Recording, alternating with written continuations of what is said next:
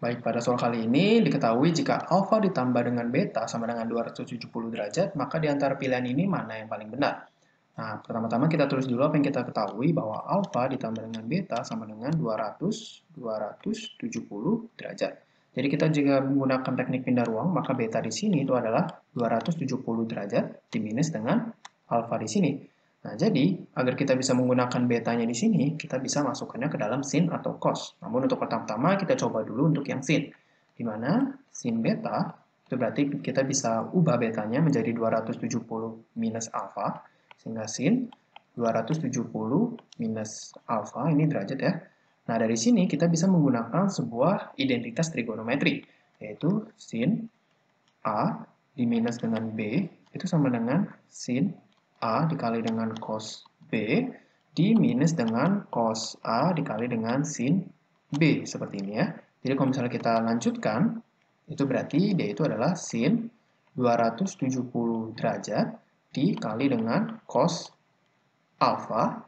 Berarti sini adalah di minus dengan cos 270 derajat dikali dengan sin alfa ya, seperti ini.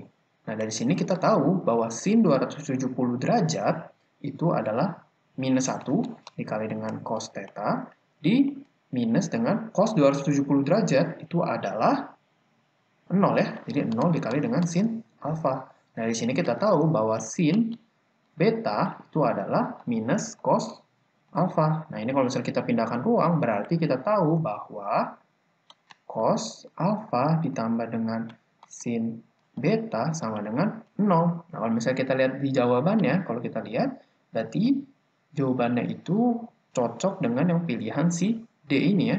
Nah, D ini. Nah, di mana kalau misalnya kita coba masukkan juga ke dalam cos beta, itu kita bisa mendapatkan jawaban lain, tapi di pilihan itu tidak ada. Di mana kalau misalnya kita tulis, berarti D itu adalah cos, betanya itu 270 minus alfa, dan kita menggunakan sifat trigonometri lagi, D itu bentuknya adalah cos, di mana dia itu adalah A min B, itu berarti bisa kita tulis sebagai cos A dikali dengan cos B ditambah dengan sin A dikali dengan sin B. Nah, jadi ini kalau misalnya kita tulis, dia itu adalah cos 270, 270 ya ini, dikali dengan cos alpha di plus dengan sin 270, 270 dikali dengan sin alpha. Nah, cos 270 itu adalah 0, dengan 0 dikali dengan cos alpha ditambah dengan sin 270 itu adalah minus 1 ya. Minus 1 dikali dengan sin alpha. Di mana kita tahu bahwa cos beta itu adalah sama dengan minus sin alpha. Jadi kita tahu di sini adalah sin alpha ditambah dengan cos beta sama dengan 0. Nah ini sebenarnya adalah yang kedua ya. Tapi kalau kita lihat di kalau kita lihat di pilihannya tidak ada yang sesuai dengan yang jawaban kita ini. Nah, di mana berarti kita bisa menggunakan yang sin ini aja, di mana jawaban itu adalah yang ini ya.